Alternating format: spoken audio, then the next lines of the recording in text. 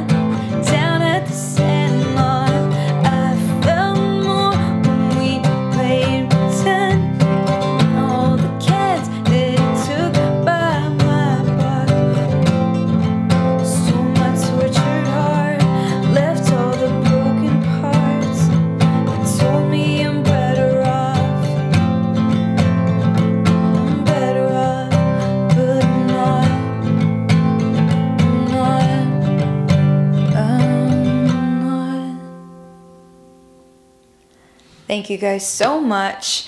Um, that was such a fun one to learn and play. I think this is my favorite so far. I'm only on number three though, so um, I'm really enjoying doing these covers.